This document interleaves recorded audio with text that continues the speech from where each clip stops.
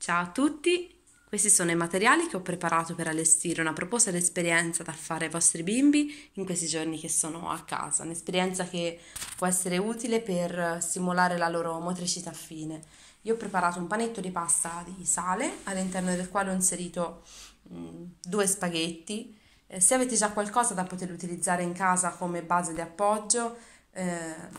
ad esempio polisterolo, una spugna o anche le basi che utilizzano i fiorai eh, per fare le composizioni o anche il didò dei vostri bimbi potete utilizzarlo eh, tranquillamente, vanno benissimo. E eh, in alternativa agli spaghetti potete usare anche bastoncini eh, degli spiedini con la punta rivolta verso il basso. Di fianco a questo piccolo allestimento andate a eh, offrire ai vostri bambini all'interno di alcuni vasetti della pasta di diverso formato forata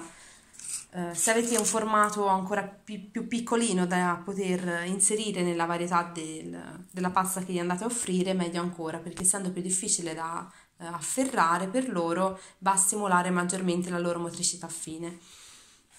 Mm. Quello che andranno a fare i vostri bimbi, probabilmente vedendo questo tipo di allestimento, sarà quello di andare a inserire la pasta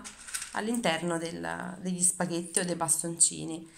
Eh, questo li terrà concentrati per eh, tempi più o meno lunghi in base a quella che è la loro età. Per quanto riguarda i bambini più piccoli, mh, mm, probab- è probabile che andranno a concentrarsi eh, di più nella fare esplorazione dei materiali che gli offrite, quindi eh, magari rovesciare vasetti, eh, travasare il contenuto da un contenitore all'altro e a questo punto gli possiamo andare a offrire, possiamo andare a offrire altri tipi anche di materiali, anche di formati diversi. Eh, io ad esempio avevo in casa farina di mais, couscous, pastina per il brodo, fiocchini e ovviamente la pasta che avete già visto.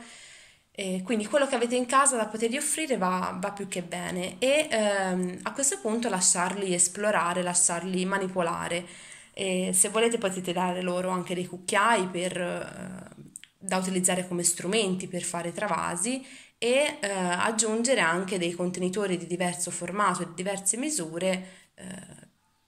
perché no, anche degli imbuti per fare appunto i loro travasi e fare le loro esplorazioni. Per quanto riguarda invece i bambini più grandi, eh, una volta terminato il tempo di attenzione nei confronti di questa esperienza, eh, si può eh, andare a proporre loro anche un altro strumento che può essere un filo che avete in casa oppure dello spago da cucina come questo